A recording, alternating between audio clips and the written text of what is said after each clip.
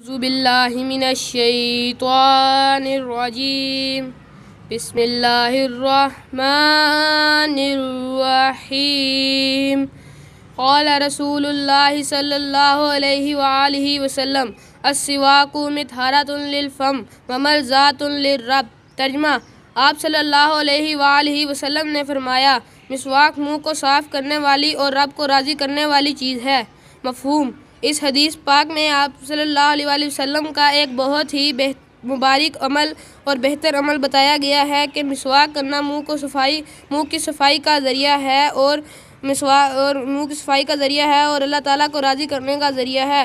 آپ صلی اللہ علیہ وآلہ وسلم نے ایک اور حدیث میں فرمایا ہے کہ اگر اگر مجھے اپنی امت کو، اگر مجھے اپنی امت پر مشقت کا خوف نہ ہوتا تو میں مسواک کرنا لازمی قرار دیتا۔ دیتا علماء نے فرمایا ہے کہ اس مسواک کرنے کے ستر فائدے ہیں کہ ہمیں، ہمارے منہ سے بدبو بھی نہیں آتی اور ہم پورا دن تر و تازہ رہتے ہیں اور پل سرات پر چلنے میں بھی آسانی ہمیں مرنے کے بعد پل سرات پر چلنے میں بھی آسانی ہوگی اور مرنے کے وقت کلمہ، مرنے کے وقت کلمہ نصیب ہوگا۔